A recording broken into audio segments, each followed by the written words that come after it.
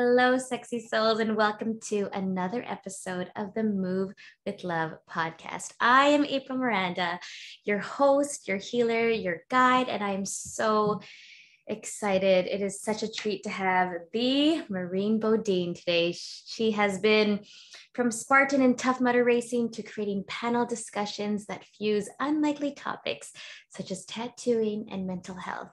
Marie Bodine is driven to explore the uncommon. Through practicing and teaching the Wim Hof method principles, Marie influences others to heighten their creativity, elevate productivity, delete stress, and develop unshakable inner peace. Welcome to the show, Marie Bodine. April, I'm so excited to be here. How are you today? Oh, I am just so excited to interact with you because every conversation we have, whether it's in person, whether it's through text, or over the phone, like I always feel so lit up, inspired, and clear. So you have that power. it feels and, fun to feel better, doesn't it? it does. And so thank you for saying yes to being a guest. And whoever's listening to this episode, um, you're in for a treat. So um, let me let's just let's just start talking. What's lighting you up right now?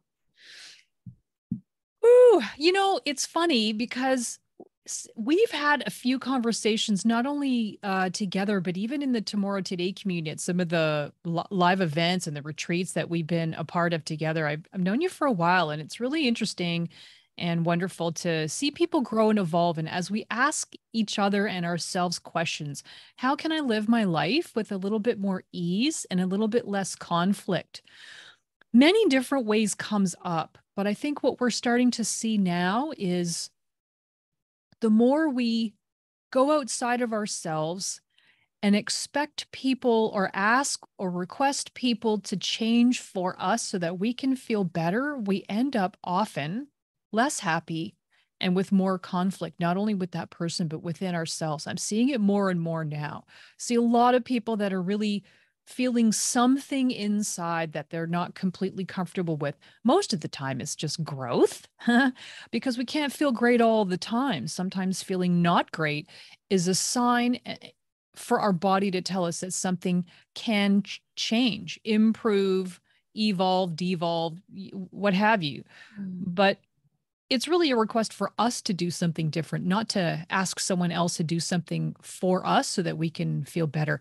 It kind of diminishes their power and it doesn't strengthen the bonds between us. And I've seen that, um, yeah, a lot. So obviously breathing helps, but many other hormetic practices take us from a stressed state to a more balanced state. So that's what I've been up to lately. Mm, and conversation with you is always deep and profound. It's never the fluffy stuff. So, like, even just with hearing you what you said before, it's like a little bit of what we had a little chat about with like the self healing, the self awareness kind of muscle or part in your brain. And we talked about the victim mentality and the taking responsibility, exactly what you said, like taking ownership and, you know, honoring that we're the ones that need to change to make the shifts out there. So, um, can you elaborate on, I guess, what advice would you give to someone who doesn't have that self awareness or doesn't have that idea that they're the ones with the power to change and shift?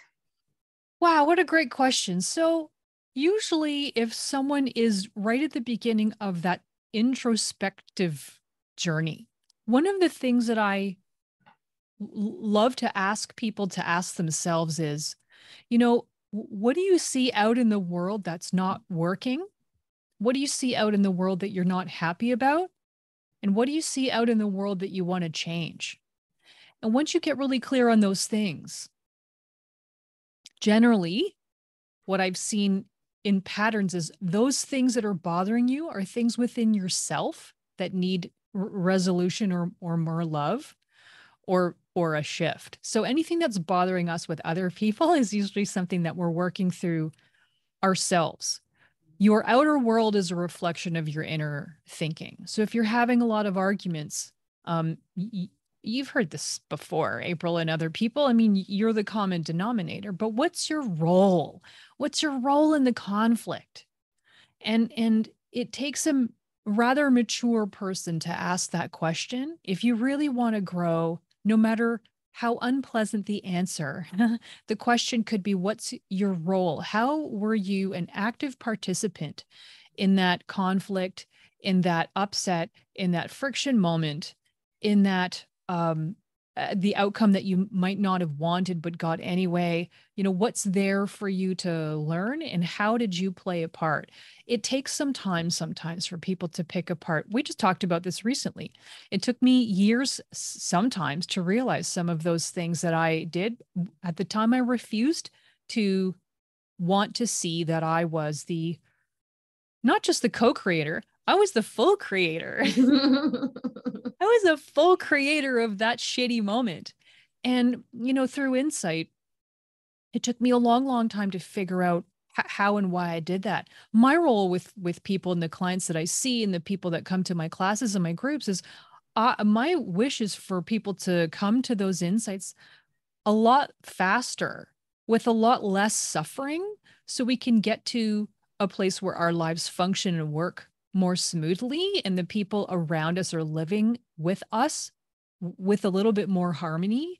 And we're not blaming other people for how our lives are going. There's a lot of blame going on. We can look at the wars going on right now. We can look at whatever the pharmaceutical industry is doing fill in the blank. We can talk about you know our barky neighbor's dog noisy all the time. We can talk about the person living below us that's you know having sex at two in the morning and keeping us up. Like what are we aligning with right? So although all those things look like we're not any part of it we're all connected. So there's always ways to really get quiet. As you know meditation helps but simple breathing practices and really having a life vision knowing who you are and knowing what you want is going to get you closer to that peaceful life. Mm-hmm. and yeah so talking about living the peaceful life what do you feel would be the biggest blockage of one desiring that peaceful life? Or you talked about like you want to get to one point with less suffering so, what do you think would be the root cause of that suffering or the biggest blockage that prevents them from living this fulfilled, peaceful life? Okay. We're going to we're going to explain that backward because I've never said it like this. So the people that are listening that have listened to me speak in other arenas and other podcasts are going to want to listen to this. I've never explained it this way. We usually have something that we want to control, fix or change. We take a step back the seed to that would be anticipatory fear. When we take a step back, the seed that grows that is a lack of trust. We take a step back even further, we're looking at complete and total separation from ourselves, the universe, the planet, or other people. So I would say separation is really something that when you really distill it down to the complete basis of all the things that are causing grief war, sadness, unnecessary suffering. A lot of it is because we're not really recognizing that we're all one unit here on the planet. We're all connected. We're all connected not only through the planet and the elements, but through vibrational energy, the quantum realm, and all the vibrational you know brain and body signals that electromagnetic field that we uh, some people are recognize, recognize the torus field we're all connected there too so as soon as we understand that what we do affects not just ourselves but everyone around us then we can start taking micro steps mm. to love ourselves a little bit more and love the strangers that we meet on the street and then here's the hard part loving something negative that someone throws at us. That's tough. Mm. Wow, I love how you said just to step back. Yeah. Step back. And I I like also using the term like zooming out, like seeing the big picture. Because you know, we can get stuck in all, all the details and our own little bubble, but it's like attachment to the physical when you say when you just kind of create space, know that we're all connected in this quantum realm. I love how you mentioned the electromagnetic field because um, even you talking about it and scaling back backwards, it made me breathe. It made, and I hope the audience who's listening be like, oh yeah, like this that stranger, that pedestrian, that driver, like it doesn't really matter because we are all part of the same big picture. Um, I wanted you to elaborate on, yeah, with the the trap and how we can avoid this trap of the future focus thinking. Can you please elaborate on that? Well, yeah, I mean, I have a lot of opinions about it, so I'll give you a slice of that today. So, you know, when we look at anticipatory fear or when we look at future thinking, we're really starting to now understand that the brain really likes to be busy, but the body doesn't always love to to be as busy as as the mind. And being that really overly busy, grinding away, grinding away, planning things, the the goal oriented and the production oriented culture that you and I live in right now isn't the norm for other tribes and cultures.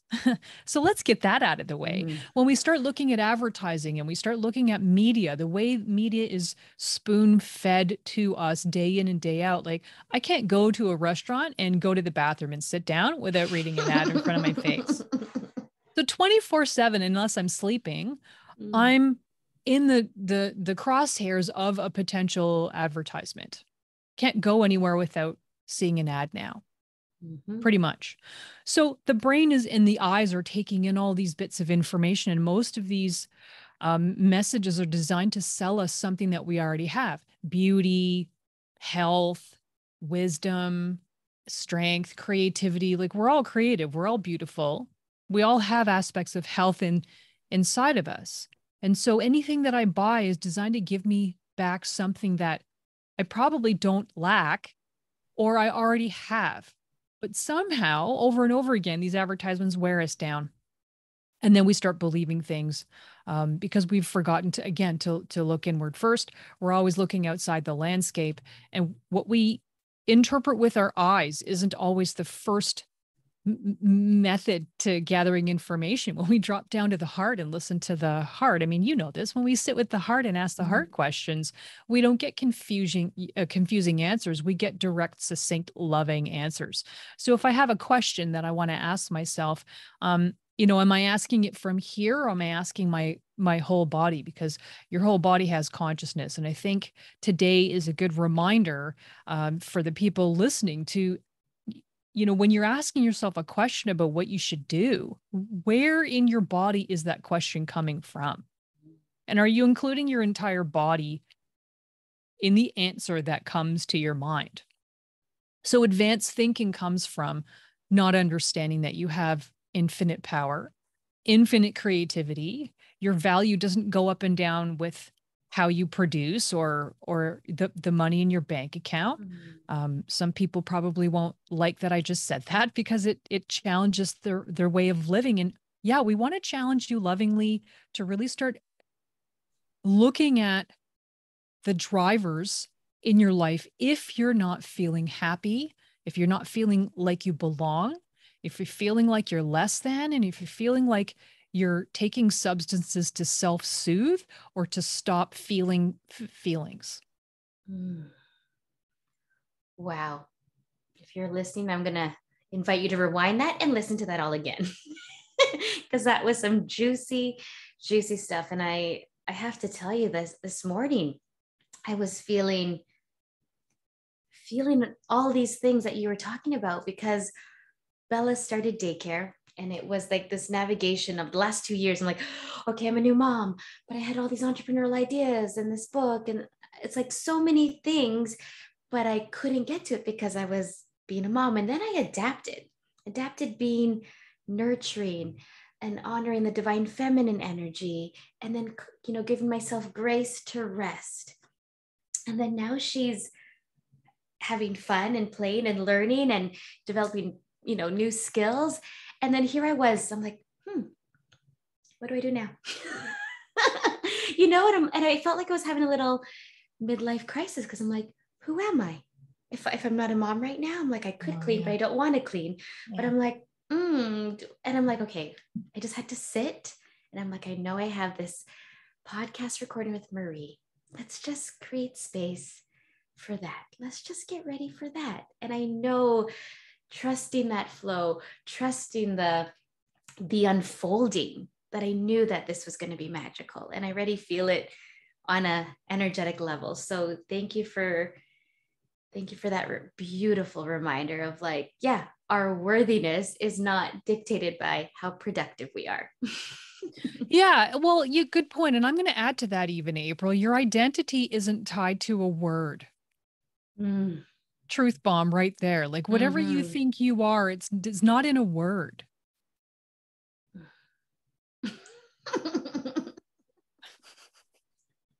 you know, that, how long did it take me to get to realize that in my life, right? Wow. Tell me how the many, journey that got you to that. How yes. many lists did I create? The things who I wanted to be, all the things in a day I wanted to get done. It was freaking exhausting. And you know, and it never got me there.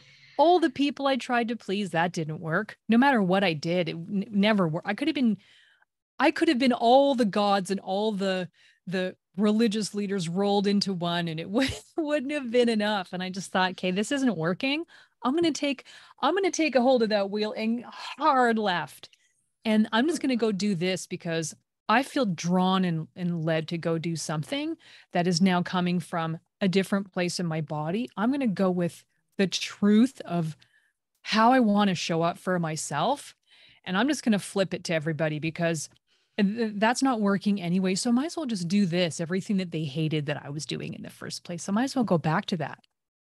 And that took me over, oh, oh, wow. After the friction stopped, it took 40 years for me to get to that place where, you know, I was very young and all creative and, and, and all the the brightness that we have as as children and then authority figures school media like i mentioned and then people in positions of power uh, smashing down the creativity in structured environments out of fear of looking responsible for my behavior I don't know why people are taking that on. We can stop that right now if we want to. That's a choice.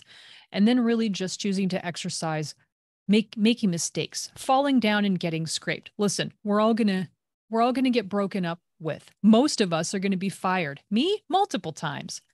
it's it's a process, right? It's a process mm-hmm. of learning. To me, getting fired is the universe saying that's not actually not the best job for you. Let's pave the way and make it wide open mm-hmm. right now so you can find something more productive.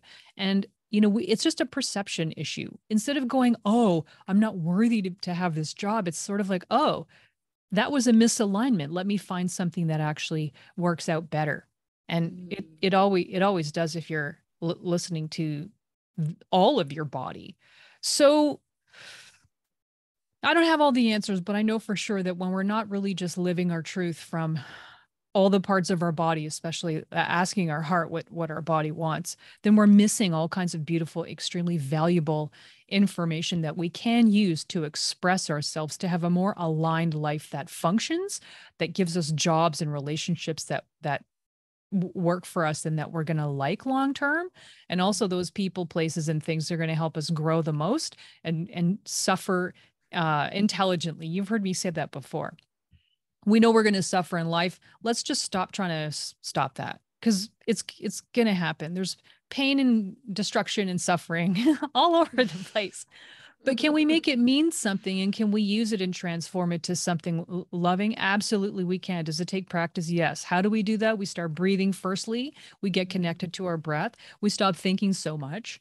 And then we mm-hmm. sit on our asses and we meditate so that we can get quiet and develop that deep beautiful powerful relationship with feelings, which is the language of the body. And when we quiet all the word part, which is basically here, you know that, when we quiet that part, then we can directly plug in to access of tons and tons of other wisdom and information that's waiting for us to connect into from from the neck down. How does that sound? Mm, oh, I I resonate and but even with yeah the podcast called move with love because i even met you when you were like a fitness instructor i was yoga teacher like so that was a quote unquote title that we had back then you know so i know very physical but now yeah you were mentioning like dropping into the heart listening to the feelings and the entire body. So it like it's like this visceral sensation when you say them like yeah like the wisdom is not just here in the brain. When you're like dropping out of the mind and into the body out of the mind and into the heart and even the big consciousness. But um, I, I you probably already answered this, but what does move with love mean to you? You made a really beautiful point. I mean, just using the brain is a very Victorian, antiquated way of approaching daily life right now. So mm-hmm. n- now that we're we're past that, move with love really t- to me now means understanding that each organ, each each system, each plant, each animal, all the elements of the earth, they all have consciousness at some on on some level. Everything's vibrating. Mm. Everything is vibrating. So when we start to look at different parts of the body, when we're looking at wellness and, and unwellness, does disease doesn't, you know, float around the air and land on us. We we develop it because we're not in in balance. Mm. So move with love means to me exploring the relationship with the rest of the world and us and creating harmony with both. Mm. Wow. Yeah, just letting that statement sit. So many truth bombs in these statements that just one after another with you. Um, tell me about this inner peace portal that you created.